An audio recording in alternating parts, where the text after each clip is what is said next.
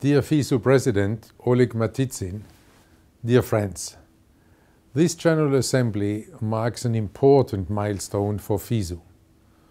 Not only are you setting the course for the future of university sport, but you're also celebrating the 70th anniversary of FISU. Congratulations to this uh, great anniversary.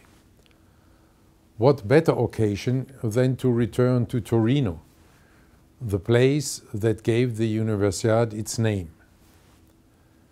Having competed at the Universiade during my student days, today I can admit without great sporting success. On the other hand, it gave me the opportunity to experience even better the wonderful spirit of freedom and openness of this unique event. It is therefore a personal privilege today to congratulate FISU on 70 years of promoting university sport among students around the world. For many student athletes, university sport becomes a stepping stone for a future career in sport. This is why FISU plays an important role in connecting young people with the Olympic values of excellence, friendship and respect. Shaping the future of sport can only be done in cooperation.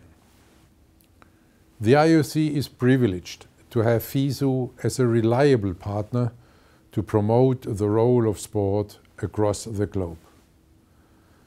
Building on your 70 years of heritage and tradition, you can look with confidence to the future of FISU and of university sport. In this Universiade spirit of optimism and confidence in the future, I wish you a most successful General Assembly in Torino. Thank you for your commitment to promoting the role of sport around the world, and I wish FISU, under the leadership of your President Oleg Matytsin, only the very best for the next 70 years and beyond.